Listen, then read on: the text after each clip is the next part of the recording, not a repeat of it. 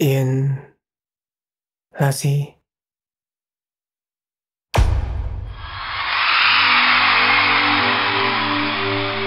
Là một áng mây.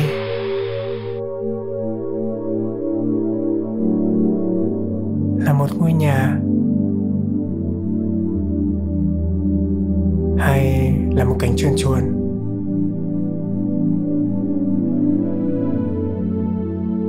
Tôi tự hỏi mình vào năm tôi 18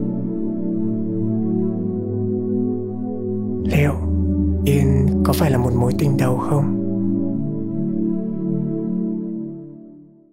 Gặp rồi anh ơi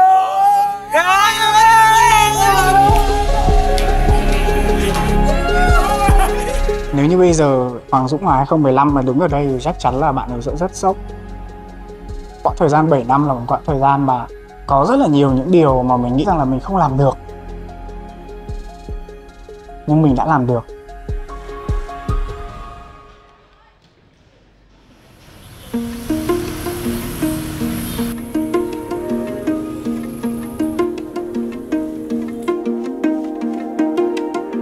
Dương hắt xì 5 6 7 cái liên tiếp đang vừa xịt mũi.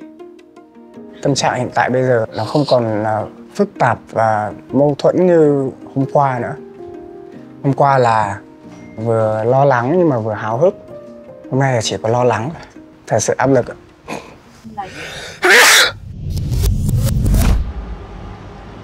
Trước cái cuộc họp này thì tôi có tôi có buổi chơi để như kiểu là mình vẽ và mình viết lại cái chữ yên đấy để xem là mình có hình dung ra cái hình tượng nào hay không thì đây mọi người mọi người có thể nhìn qua ấy. khi mà nhìn cái chữ yên này thì tôi tự dưng tôi rất là chú ý đến cái chữ e này. Nó có một cái mũ ở đây và nó làm tôi liên tưởng đến một cái ngôi nhà. Và cái cái shape của cái chữ cái shape của cái chữ e này nó cũng rất giống một ngôi nhà nếu mà mọi người nhìn nếu mình viết hẳn ra như thế này. Mình vẽ thành những cái đường thẳng như thế này mọi người có thể thấy luôn là nó trông rất giống một ngôi nhà đúng không? Tôi mới thử vẽ thêm những cái chữ khác. Thì tôi thấy là cái chữ y này nó cũng khá là giống với cả một cái một cái cây hay là một cái lá nào đó. Và chữ n này thì nó giống như là một cái hình núi xứng này nó có thể là một cái cánh bướm. Hay là một cái một cái con gì đó. Nó có cánh. Tự do có yên. Ừ. Và tôi thấy là những cái hình ảnh của nó đều rất là hợp với những cái khung cảnh mà mọi người vừa nói. Là một khu vườn ờ, có cây ờ, có ngôi nhà và đương nhiên mình hoàn toàn có thể có mèo ở đây nữa. Make sense đúng không? Nó rất là hợp lý. Mình nhìn cái chữ yên này nó theo một cách nó hình tượng hóa rất là nhiều. Ờ, và tôi là khá thích cái idea này. Còn chất lượng ngôi nhà như thế nào thì um, phải dựa vào tiền grip tiền vốn của ca sĩ Hoàng Dũng. Có thể là một ngôi nhà trăng với hai trái tim vàng. Đầu tư nha đầu tư lên một ngôi nhà ngôi nhà gạch nha thì thật ra nếu như mà nó hay ho ấy, thì tôi cũng không tiếc. Wow bạn nhạc mà nghe thì chắc Sướng chết. Ok thế mình uh, chốt ngôi nhà nha. Ngôi nhà nó chính là nơi mà mình cảm thấy ờ, được ờ, thả lỏng nơi mà mình cảm thấy được ờ, relax được refresh ờ, sau mỗi ngày dài mệt mỏi. Bởi vậy là lần này mình mới quyết quyết tâm là mình sẽ mang một ngôi nhà và một ngôi nhà thật lên trên sân khấu. Nó sẽ là một cái trải nghiệm rất là thú vị và ấn tượng đối với cả khán giả. Concept show này nó sẽ đi qua bốn những thời điểm. Thứ nhất là bình minh, thứ hai là một cái buổi chiều nóng và hoàng hôn. Thứ ba là cái blue hour và thứ tư là cái một cái đêm trăng và sân khấu này sẽ biến chuyển hình thái theo cái đó. Đến có một cái mặt trời tròn là để làm cái công việc đấy. Ở đây thì cái element chính nhất trong cái sân khấu và là cái sẽ thay đổi nhiều nhất thì nó chính là cái ngôi nhà ở cái thời điểm đầu tiên lúc mình xem cái phát thảo của việc anh thì mình bảo, ok, cái việc này nó rất là matching với cả những cái thứ gì mà các bạn đang nghĩ. Nó sẽ là một nơi để từ đấy bước đi và từ đấy trở về và tất cả mọi thứ nó diễn biến ở trong đấy. Một cái cảm giác rất là yên khi mà mình nhìn thấy cái hình ảnh ngôi nhà đấy của trong cái phát thảo treatment đầu tiên của Việt Anh. Thực sự rất là ấn tượng.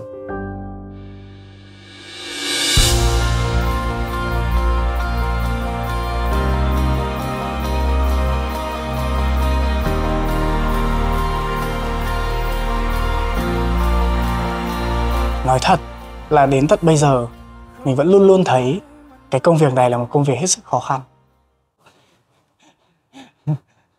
cái bài opening anh ơi, đạo diễn xin là cái lúc chuyển từ bài yên sang bài ném câu yêu. Cho em xin thêm một lần intro nữa.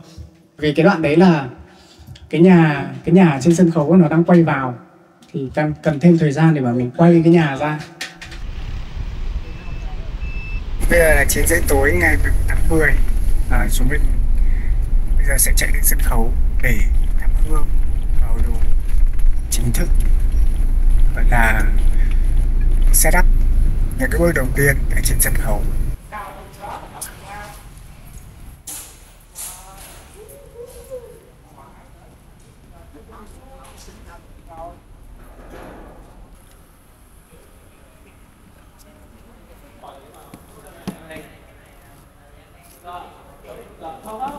Người ơi, phóng tầm mắt sang bên kia.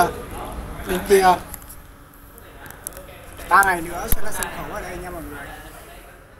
Số 1 số 1 mọi người ơi! Số 1 số 1 luôn. Đẹp đẹp. Trong mấy ngày tới nữa, đây sẽ là sân khấu, đây sẽ là nơi chúng ta cháy hết mình vào trong game concert lần đầu tiên lúc mà mình bước chân vào đây, mình mình nổi hết ra gà cách tới 7 năm á khi mà lần đầu tiên đặt chân đến Sài Gòn. Có một cái buổi tối mà mình uh, đi chơi cùng với bạn bè. Mình đứng ở cái cây xăng ngoài kia này này này. Mình nhìn thấy mọi người đi xem một chương trình ca nhạc ở trong sân khấu này sân khấu quân khu 7 lúc đấy mình đã nghĩ là không biết lúc nào mình vào đây mình diễn ta.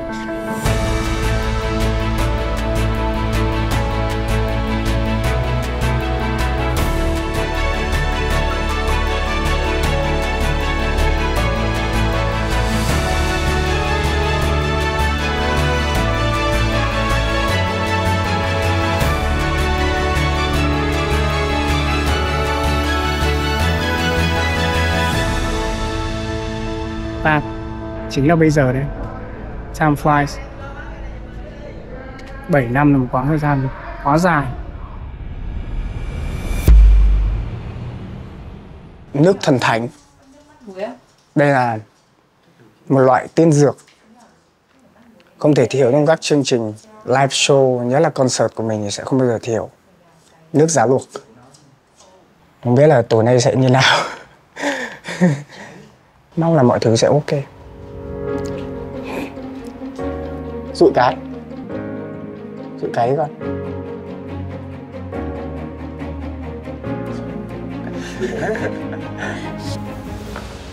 Ngay cái thời điểm mà đang rehearsal cho concert thì uh, Dũng có gặp tôi và hai anh em có nói chuyện với nhau. Thì Dũng bảo là anh ơi em hồi hộp quá. Tại vì em chưa diễn ở nhà thi đấu quân khu 7 bao giờ. Mày cầm theo cả một cái này đi cho nó xả stress cho nó tập trung hơn. Mặc dù đây nó là cái tay cầm chơi game thôi, nhưng mà nó có ích mà. Ngày hôm qua mình vẫn cảm thấy bình thường lúc mà rehearsal hay duyệt với cả test ánh sáng, tập band các thứ, cảm thấy khá là nhiều năng lượng, khá là nhiều cảm xúc và khá là tự tin. Nhưng mà đến hôm nay sau khi ngủ dậy thì tự dưng là cảm thấy áp lực khủng khiếp. Không nghĩ là nó lại kinh khủng đến mức về. Em chào tất cả mọi người. Chỉ còn khoảng ờ, một vài tiếng nữa thì ờ, mình sẽ bắt đầu chương trình. Và đầu tiên thì em muốn cảm ơn tất cả mọi người cảm ơn tất cả các anh chị cô chú tất cả các bạn. Không phải chỉ là trong vài ngày hôm nay mà uh, dự án yên và yên concert nó đã được chuẩn bị từ rất là lâu rồi từ cách đây vài tháng. Và em biết là mọi người cũng đều rất là nhiệt tình đều rất là hết lòng trong dự án này. Và tối nay em nghĩ rằng là tất cả chúng ta đều có một tinh thần đấy là chương trình này là chương trình của của tập thể chúng ta, chứ không phải là concert của riêng Hoàng Dũng. Và mong là tất cả mọi người sẽ giữ được tinh thần thật là tốt, sẽ có một sức khỏe thật là tốt để tối nay chúng ta hoàn thành concert một cách trơn tru nhất. Và em chúc cho tất cả mọi người tối nay sẽ có một đêm diễn thành công tốt đẹp. Có lên mọi người ơi! Lần sau đừng đặt dự án là yên nữa. Vì nó không có yên một chút nào hết. Khi mà mình muốn làm điều gì đó mà mình đặt tên nó là một điều gì đó thì thực chất ra là tất cả những gì mà mình làm trong quá trình đó hoàn toàn không phải là như vậy. Từ lúc mà mình nhận được tin mình gần như là chịu trách nhiệm chính về phần sản xuất của concert này chưa một ngày nào mình có thể ngủ ngon được Yên hay không thì em nghĩ là do mỗi người nhưng em nghĩ là không yên. Cái câu nói đấy mặc dù nó là câu nói đùa thôi nhưng mà nó phản ánh rất là đúng. Tuổi trẻ của chúng mình đang trải qua. Đúng như mọi người nói đến tầm này là ăn bài rồi. Sắp đến giờ thi rồi dù mình có học bài hay chưa thì mình vẫn phải thi rồi không còn sự lựa chọn nào khác nữa. Sáng nay nhiều lúc tôi ước là tôi được uh, quay ngược thời gian này, tôi không phải hát cái show này nữa và tôi sẽ ném cùng yêu em vào trong không trung.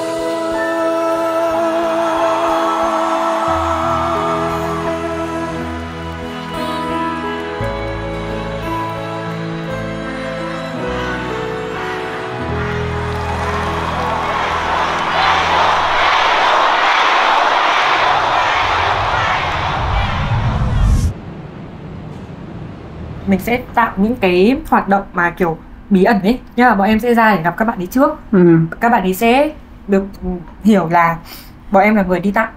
Nhưng mà Ừ. xong rồi anh sẽ bất ngờ xuất hiện từ phía sau. Gây cho bất ngờ cho các bạn ấy. Là lừa hả? Ờ kiểu lừa ấy. Kiểu các bạn đừng quay lưng doanh nữa sau kiểu hello. Ừ, bất ngờ chưa? đấy. Hello surprise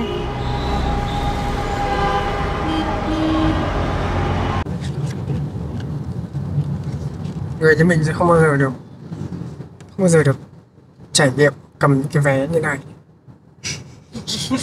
Đi vào check in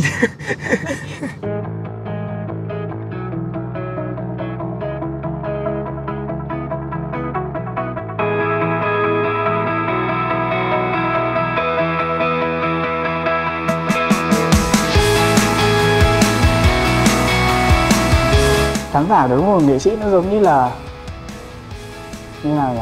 Nó giống như là bún đậu và mắm tôm ấy. nếu như mà không có mắm tôm thì bún đậu vẫn ăn được. Nhưng mà nếu như có thì sẽ thăng hoa hơn.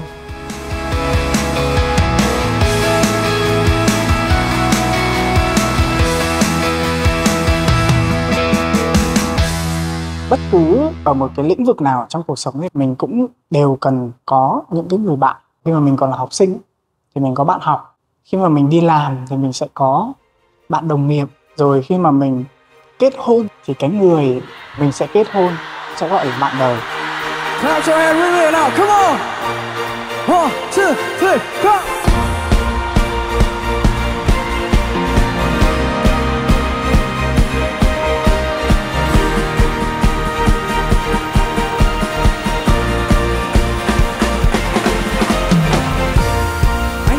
bản thân bằng giấc ngủ hàng đêm. Mình muốn có một cái sự khăng khít và đồng điệu giống như thế ở trong âm nhạc của mình. Đó là lý do mà vì sao mình gọi khán giả của mình là bạn nhạc.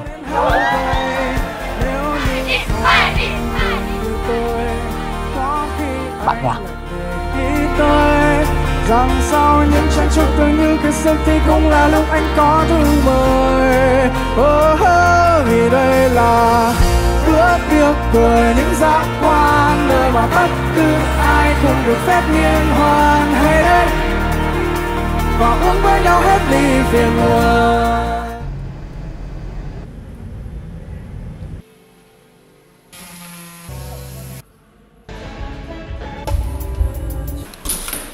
mình không nghĩ là mình có thể vượt qua được ngày hôm nay. Hôm nay là ngày trước trước ngày cuối cùng.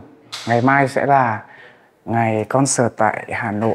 Thật sự ngày hôm nay là một ngày rất là mệt. Ngày hôm qua thì mình mới ngủ được có khoảng hơn 4 tiếng. Và hôm nay thì duyệt chương trình từ 10 giờ sáng cho đến bây giờ. Mấy giờ rồi? 10 giờ tối. 12 tiếng rồi. Nói chung tầm này là cũng đuối lắm rồi. Nhưng mà để cho mọi thứ trơn tru thì phải như thế. Và mong là ngày mai mình sẽ thật là cháy, thật là cháy với mọi người.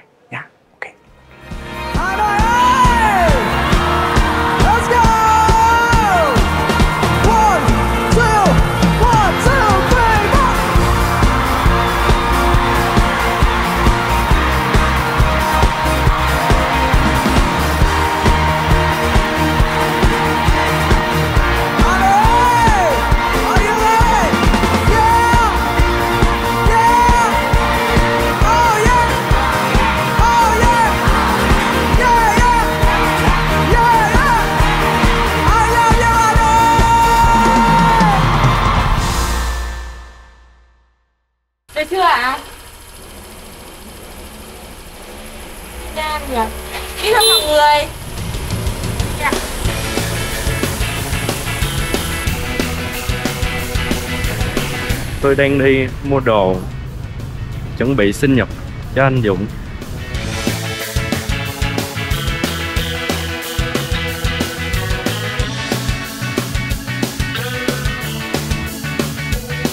Tôi xếp bóng của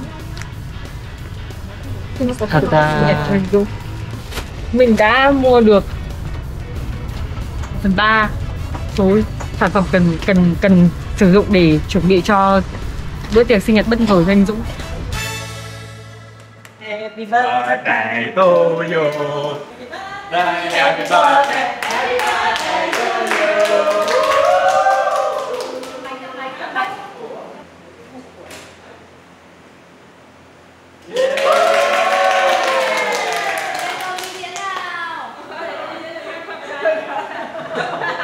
làm việc có ekip là một cái phạm trù nó hoàn toàn mới đối với mình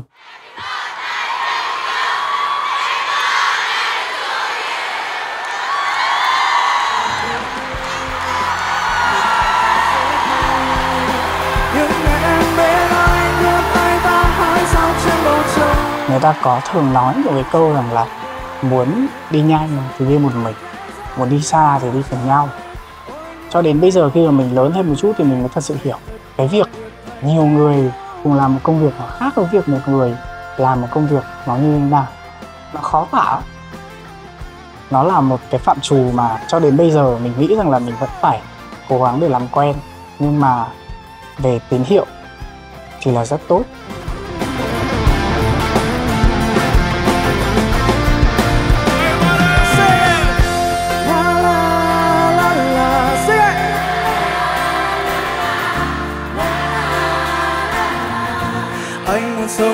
Tuổi đôi mươi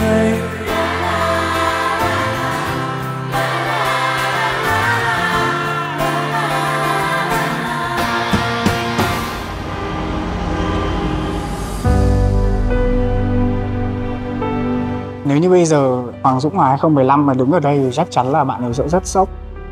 Những cái thay đổi mà bạn ấy không nghĩ rằng là mình sẽ làm. Và có rất nhiều những điều mà mình tin rằng là mình có thể làm được. Thì bây giờ mình đã trên con đường từng bước làm được cái điều đấy rồi. Nếu như gặp Hoàng Dũng 2015 ngay tại đây, mình sẽ ôm bạn ấy một cái. Nói với bạn ấy rằng là mọi thứ chắc chắn là sẽ ổn thôi. Và khuyên bạn ấy một vài câu kiểu như là đừng lãng phí thời gian của mình hãy tập trung hơn hãy yêu thương nhiều hơn mạnh dạn hơn đừng sợ hãi đừng lo lắng và hãy tin, hoàn toàn tin vào những cái điều mà mình đang làm. Chắc chắn là mình sẽ làm được.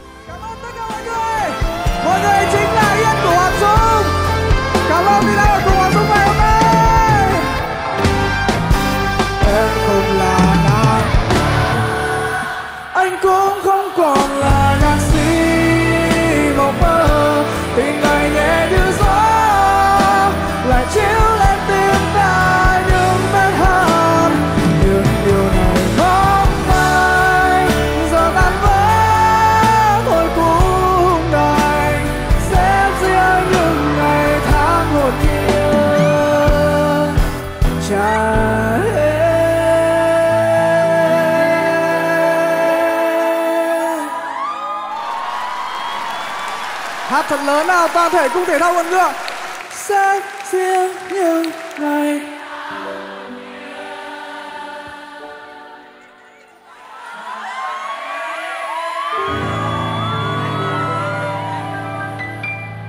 cho em.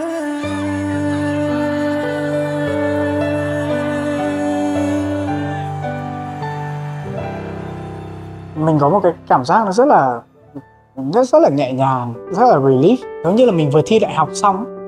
Đầu tiên là cảm thấy rất là nhẹ nhõm. À, thứ hai là cảm thấy rất là hạnh phúc.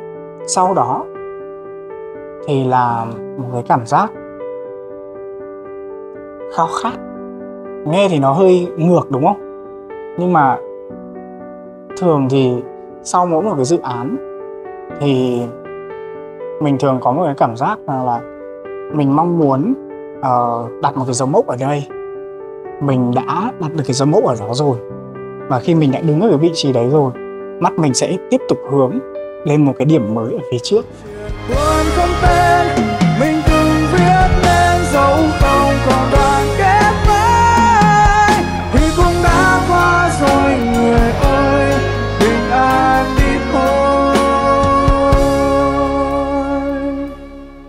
Mọi người nhớ nhá một ngày chúng ta sẽ bình an suốt đời.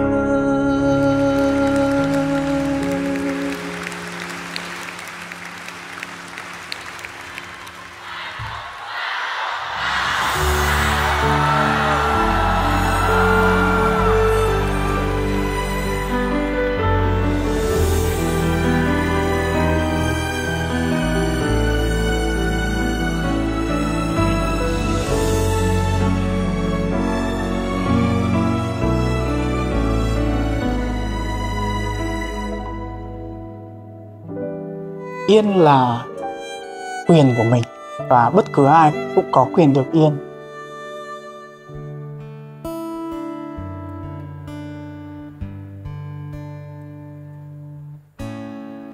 Em là chiếc lá rơi nghiêng nhuộm màu nắng cháy Anh là mặt đã tắm mưa nhiều đêm. Chạm nhau giữa mùa hạ khi chưa kịp phơi nỗi phiền. Thầm mong nhau sớm mai